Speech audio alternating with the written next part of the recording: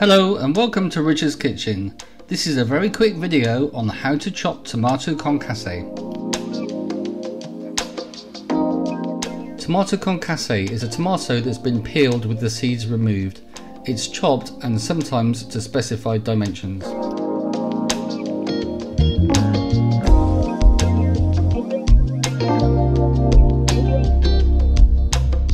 So the first thing we need to do is we need to put a cross in the top of every tomato. This is to loosen the skin as we plunge it into boiling water. Bring a pan of water to a rapid boil and drop the tomatoes in.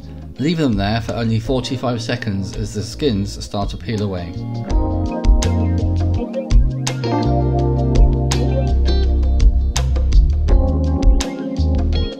After 45 seconds, remove the tomatoes from the boiling water and plunge them straight into ice water to stop them from cooking.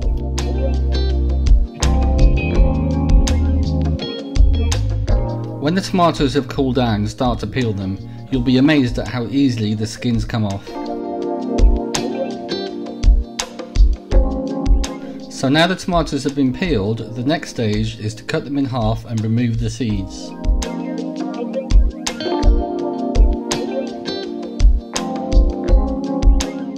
So the last thing to do is to chop them in half again, remove the core which is that little hard bit at the end, and then chop them into whatever size you need.